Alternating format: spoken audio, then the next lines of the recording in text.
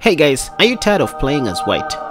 Or in other words, are you tired of playing the same openings with white pieces? Well, four months ago, I released a video titled One Secret to Chess, Never Play as White Ever Again. And one of the openings that I briefly talked about was the Budapest Gambit where black plays e5 on the second move to gambit a pawn and then try getting it back on the third move and after knight f3 this is where you go knight c6 and black usually plays bishop f4 after which you go bishop b4 check knight bd2 and then queen e7 if you remember very well i said this is where most of your unprepared opponents play pawn to a3 in an effort to chase your dark squad bishop away but this is where the famous Budapest trap may occur with a move knight g takes e5 and after AB you simply met your opponent like this. Now listen I know this may sound a little bit cheap but this is not what this video is all about. In today's video I just want to show you more lines with white pieces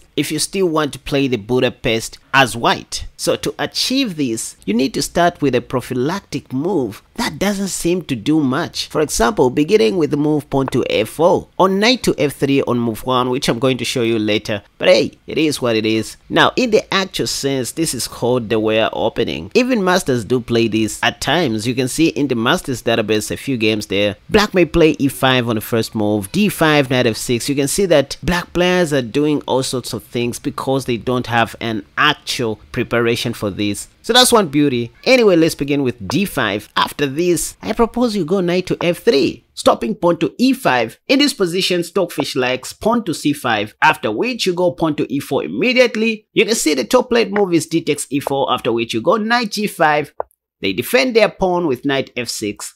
Then you go knight c3. Again, you can see bishop f5 is the top played move. And now this is when you go bishop b5 check. So this is check. Knight c6 will just allow us to double up black pawns along the c file, which is not good. So they normally play knight bd7 and this is when you go queen e2. Again, you can see the top played move is pawn to s6 where you can now safely take on e4 with your g knight and once again, what do we see here? A takes b5, the top played move. And just like in the actual Budapest, this is how you deliver a smothered mate. Let me know if you like this in the comment section down below. Let's move on. Alright, so it is noteworthy that you can also begin with knight to f3 which is my top recommendation actually because you are more guaranteed that your opponent is going to respond with d5. You can see d5 is the top played move by black which you want to see and only after this you go pawn to a4. So you just changed the move order but the idea is still the same and black may be tempted to play pawn to c5 why because they want to develop their queen's knight behind their c which is normal for you know people to do in chess and this is when you go pawn to e4 so our budapest white version works against this pawn structure for black. And i'm going to show you what else you can do if black doesn't play pawn to c5 on the second move. Anyway again they are going to take obviously you go knight g5 counter attacking that pawn knight to f6 knight c3 double attacking the e4 pawn. Black likes defending this with tempo but you still go bishop b5 check. By the way knight c6 may allow bishop takes so that's why they play knight bd7 and this is when you go queen e2 again. Now listen this time after pawn to a6 and knight g takes e4 black may be aware of this smothered checkmate on d6 knight d6 checkmate. So you may see some of them taking your knight on e4 first and after you take back your opponent may just take your second knight as well. And this time you need to be a little bit careful because if you just carelessly take their bishop they're going to win your free piece on b5 that's why you need to get rid of your light squared bishop first before taking black's light squared bishop. Position is equal, Stockfish doesn't have a problem with this and it's just a game where the best player has to win and let me just show you a little bit on how we make strategies in chess. For example, after pawn to e6, no tricks or traps involved at this stage. For example, you can go castle short if you want or play queen f3 or pawn to d3 but let me tell you one secret of strong chess players. They always look for attacking moves or moves that will give them hope for attacking possibilities in the future. For example, a strong player in this position would play something like rook a3 that's a strategy. It's not written in any book. And maybe this rook may sit on c3 someday or f3 or even on h3 and only then will white castle shot Back to the Budapest initial position where you play e4, then black takes, and then knight g5, knight f6, and knight c3, double attacking the e4 pawn. In this position, black normally goes bishop f5 in an effort to defend their e4 pawn, but there are some people who will just ignore this and play something like knight c6 for example, you know, just minding their own business the pawn on e4 is already a dead pawn, so you don't want to take it if you have something better to do. So just develop a piece which was doing nothing on its initial square. So this forces black to play e6, and this is when you can castle short. By the way, this doesn't make sense. Queen d4 in an effort to protect the pawn. I mean, here you can just play queen e2 and on the next move you're going to win back your pawn. So this doesn't make sense absolutely.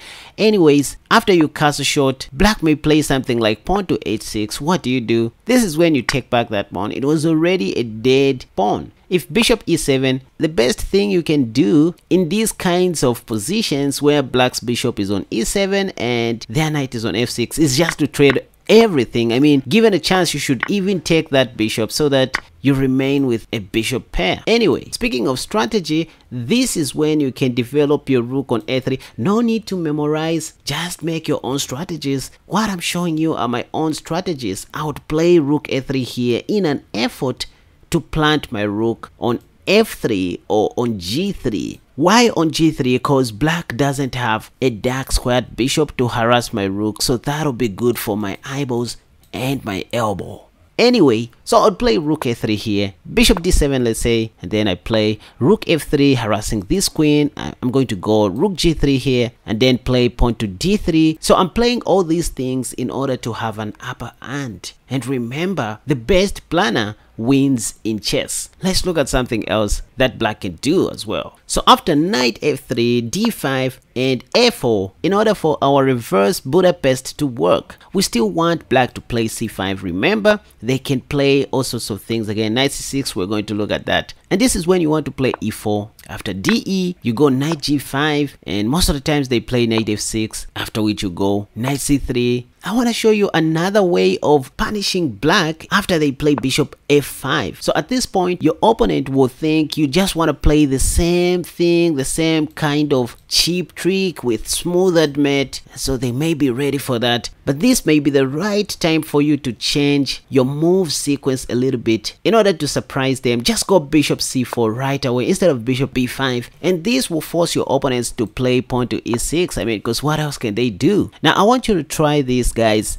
just play pawn to f3. Now I understand with perfect play, this is not the best thing that you can ever do in this world, especially in rapid, blitz and bullet. Black is gonna take your pawn on f3 because what else do they know? So this is when you take back with your queen as if you are targeting the b7 pawn and you are going to see most of your opponents playing knight c6 to cover their b7 pawn and what do you do here? Watch knight takes f7, sacrificing your knight. And at the same time double attacking your opponent's queen and rook if they don't do nothing. They mostly take that knight cause what else? After this, just know that you have won the game because this gives you chance to take their light squared bishop on f5 like that. And I can assure you to say most of your opponents will be like, what? Because the thing is, black pawn on e6 can't take your queen because it is pinned by your bishop. So next you're going to take that pawn and I've seen many people playing queen d7 or even queen d6. I mean it doesn't matter. For example queen d6. Guys, first of all you can just hide your king on d1. I should mention to say castling short is a blunder here. You should use your mind not just playing for traps. I mean black can just play queen d4 check and win your light squad bishop for free. So if you exercise a bit of patience here you can see that castle short is a blunder. I mean there's no need to memorize anything here. Things are straightforward. So king d1 makes a lot of sense just to avoid queen e5 check. I mean, you don't want to exchange queens, right? Another move that you can consider is knight e4. But with this move, you have to be prepared for this after which you take and then at least emerge with a pawn but the reason why you want to play king d1 is to avoid this because this time if queen e5 comes you can simply retreat your queen back to h3 because you don't want to exchange queens if you are the one attacking. Nah, Casper Black can just exchange queens like this. Yes, that's check, but after you take and then they take, you are still going to win that pawn on e6 like this. The whole idea is that you are the one who will always be ahead in development. I mean, there's always a way to win that pawn anyway. If king f6, you just go knight d5 check and on the next move you're going to win that rook. But hey, it is what it is again. But there are times when black may surprise you, even in the bishop c4 line, where they just let you do your thing and after this, and knight takes f7 sacrifice, they don't take your knight immediately. I mean, that's if black has seen this before. They're just going to play something like queen c7 here in order for them to, you know, maintain their advantage a little bit. But that allows you to win the I mean their rook. Why queen c7? Queen c7 was in preparation for knight d4, you know, going for this because they know they are going to win your rook someday.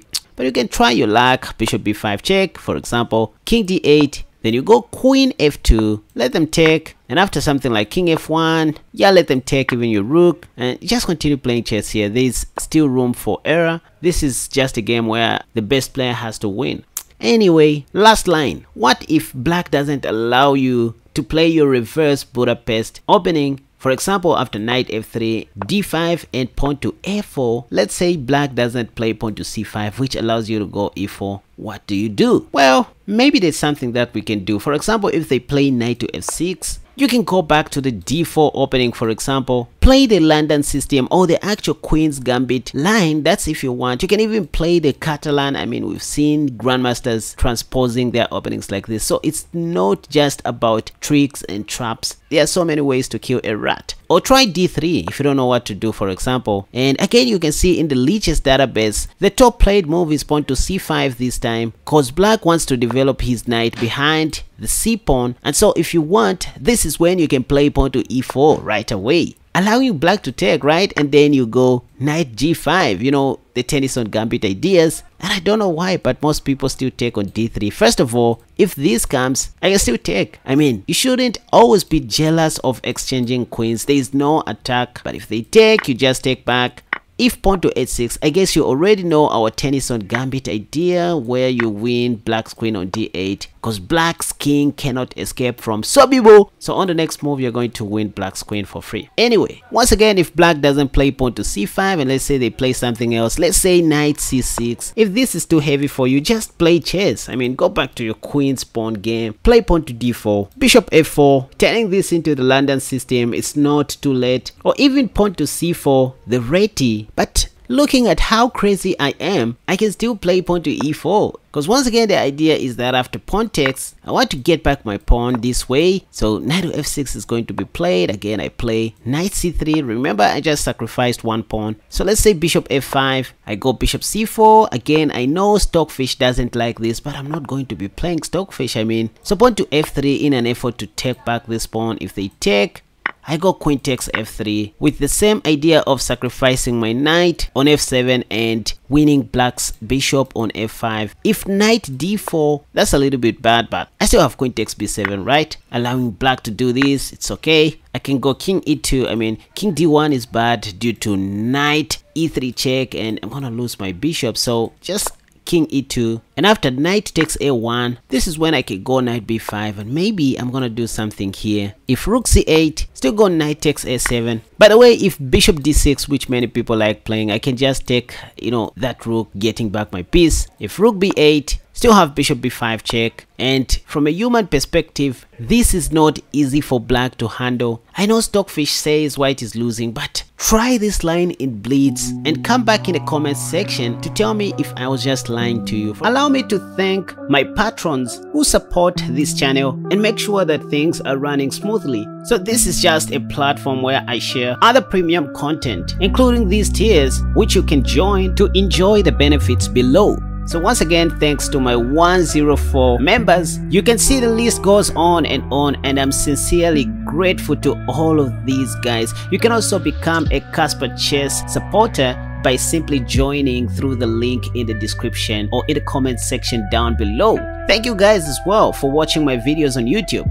Right, this is all for today. I hope you enjoyed watching this video like always and if you did, be sure to hit the like button and subscribe to my channel because that's what encourages me to keep on making more wonderful videos just like this one. Alright, until next time, thank you for watching this video. Bye bye.